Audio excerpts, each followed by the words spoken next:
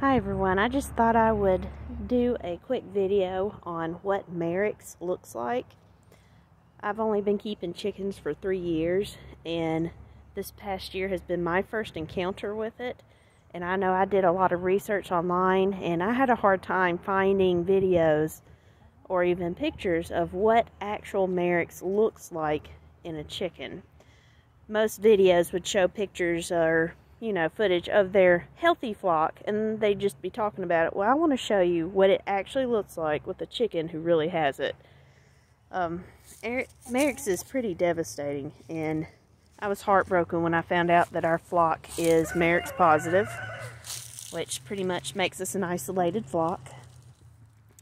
But essentially what you're going to be looking for is your chickens will be healthy one day and then the next day you're going to see that they're struggling to stand they're kind of wobbly. Looks like they're having balance issues. Well, your first thing you want to look at is do they have an injury? You're going to look at the bottom of their feet. Do they have bumble feet? Look, check for any breaks or sprains or anything like that. But generally with Marek's, you're not going to see anything other than this. You see how her leg is going out behind her? You see, let's see, move these leaves out of the way. You see how her foot is kind of curled? This is because she's lost all feeling in her leg. She can't control it at all. You see she's trying to stand, but she can't control it. Two days ago, she was perfectly normal. And then all of a sudden, that leg goes dead. That's your very first indicator that you've got Marek's. Poor girl. She's my oldest hen, too. She'll be three years old. She was one of the first ones I got. So I'm really upset about this.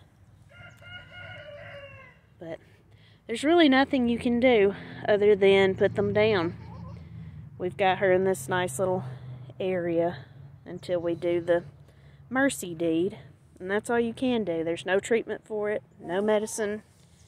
You can't just wait it out and hope they get better. You just have to put them down. That's the cold, hard truth about it. I hate it. I really, really do. But, anyways. So I hope this video has at least been helpful to somebody. Because I know a lot of people out there like ourselves are getting into chicken raising and you're just now finding out that with the joy of chickens and eggs comes this. We've had all kinds of other issues too, but this has by far been the most serious issue we've had to deal with. We've lost already probably about, I'd say, six chickens already to Marek's. And what I hate the most about it is that the chicken went completely normal. You hear she's kind of chatty. She's alert. And that's what makes it so sad is that they'll eat, they'll drink, they'll respond to you. It's just that. And it gets worse.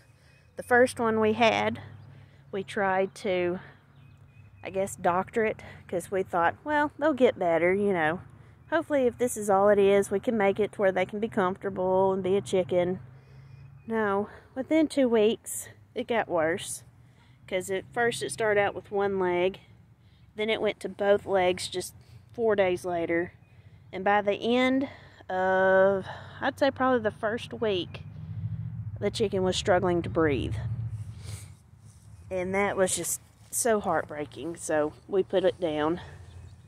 But from what I can find, it mostly affects young pullets and cockerels less than a year old. But it apparently can affect even older chickens as well. So thanks for watching. I hope it was some help to y'all.